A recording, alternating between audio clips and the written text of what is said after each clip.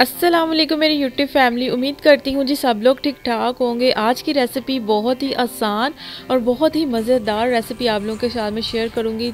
Basic ये जो recipe है चिकन तवा पीस की रेसिपी है और बहुत ही मज़े की बनेगी और इतनी जल्दी बन जाती है और जायके में बिल्कुल प्रोफेशनल इसका टेस्ट आता है। अच्छा तवा पीस की जो रेसिपी है, ये दो स्टेप के साथ बनती है। स्टेप वन जो होता है, हमने जी पहले अपने जो चिकन को, जो लेग पीस होते हैं, उनको स्टीम करना होता है।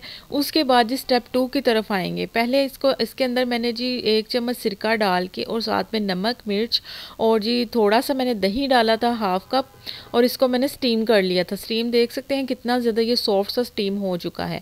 उसके बाद जी आ जाते हैं, इसकी ग्रेवी को हमने कैसे रेडी करना है और बहुत प्रोफेशनल इसका टेस्ट आता है। खाने में ऐसे जैसे आप कोई हाई स्टैंडर्ड जो है ना रेस्टोरेंट का कोई मज़ेदार किस्म का खाना खा रहे हैं।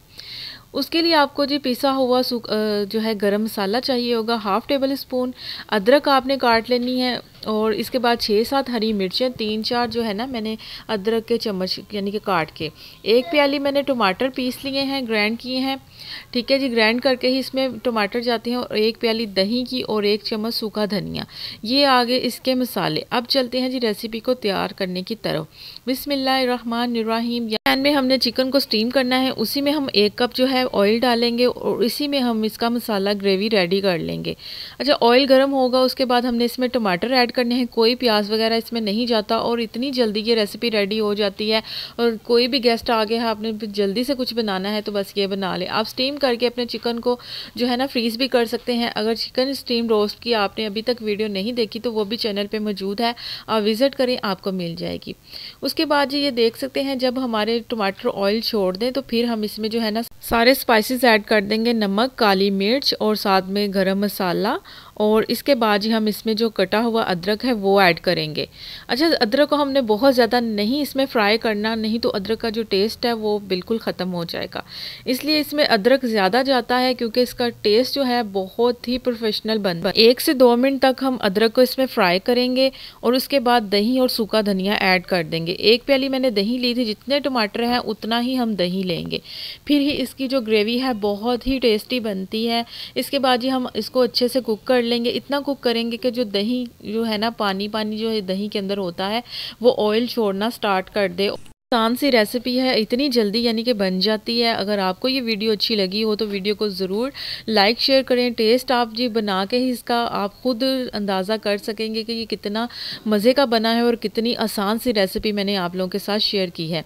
अच्छा स्पाइसेस इसमें आप अपने रिकॉर्डिंग भी डाल सकते हैं जितना आप यानी कि खाते हैं। ठीक है, बाकी आपके साथ मैंने रेसिपी की जो है वो शेयर कर दी है कि आपने कैसे स्टेप वन करना है और कैसे आपने स्टेप टू करना है। आप देख सकते हैं ऑयल इसका जो मसाला मसाला हमारा बिल्कुल यानी कि रेडी हो चुका है। अब हम इसमें जो स्टीम किया हुआ चिकन है, वो रखेंगे और उसके बाद ही हम इसको जो है ना, तीन से चार मिनट जो है ना, इसको दम पे लगा देंगे कि ये जो इसके अंदर जो हल जो मसाला है ना, अब हमारे चिकन के अंदर अच्छे से चला जाए। और इसके बाद ही हमने जब तीन चार मिनट बाद उठाएँगे तो हमारा घी अच्छे से अलहदा हो जाएगा और उसके बाद कटी हुई जो ढेर सारी हरी मिर्चें हैं वो हम इसमें ऐड करेंगे। और उसके बाद फिर हम इसको दो से तीन मिनट तक जो है ना स्टीम देंगे। इसलिए कि हरी मिर्चें जो है हमारी अच्छे से जो है ना स्टीम हो जाए। बहुत ज़्यादा स्टीम नहीं करनी लास्ट पे आपने डालनी है और एक दो मिनट के लिए आपने इनको स्टीम करना है। तो ढक्कन को एयर टाइट ढक्कन लेके हम इसको स्टीम कर लेंगे। उसके बाद दो तीन मिनट बाद जब आप उठाएँगे तो कुछ इस तरह से हमारे जो है ना तवा पीस की लुक होगी। बेसिक तवे के ऊपर ये नहीं बन सकता। बाज़ार में तो तवे बड़े होते हैं, लेकिन घर पे हम कुछ इस तरह के पैन वगैरह में बना लें। लेकिन इसका जो है, बहुत ज़्यादा प्रोफेशनल आता है। आप जज ही नहीं कर पाएँगे कि ये घर पे, कोई नहीं कर पाएगा जज कि ये घर पे बना गया है। अच्छा जी, हम अब इसको डिश आउट कर लेते हैं। बहुत ही ग्रेवी मैं आपको इसकी अभी दिखाती हूँ कि कितनी ये देखने में, मज़े का नहीं है खाने में बहुत ज़्यादा टेस्टी बनता है। बस आपने ट्राई ज़रूर करना है। आई होप सो फुली कि आपको ये वीडियो अच्छी लगी है, अच्छी लगी है तो शेयर करें लाइक करें चैनल पे फ़र्स्ट ऑफ़ ऑल है चैनल को सब्सक्राइब करें। तो यहाँ पे देख सकते हैं इसकी ग्रेवी कितनी मज़े की लग रही है। आप शादियों वाला चिकन जो होता है, उसको भूल जाएँगे।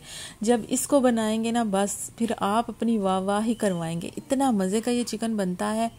बस ये छोटे छोटे से टिप्स होती हैं, मसालों को आपने बस एक तरतीब के साथ जब यूज़ करते हैं तो हमारी कुकिंग बहुत ज़्यादा परफेक्ट होती है। तो आई होप कि आपके लिए ये वीडियो बहुत ही इन्फॉर्मेटिव रही होगी। तो यहाँ पे सारा जो मसाला है, बहुत ही टेस्टी बना था सबने बहुत ज़्यादा तारीफ़ भी की थी। आप भी अपनी तारीफ़ें करवा सकते हैं। बस रेसिपी को फॉलो करें और स्टेप बाय स्टेप कुछ इस तरह से कर लें।